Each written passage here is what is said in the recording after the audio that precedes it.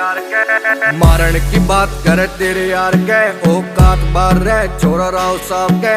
मज़ाक थोड़ी है, रह जोन सा भी मारे। बेटा हाथ लावेगा, साला पछतावेगा ना सुखी पावेगा, सुन कान खोल के। ओ गुलाब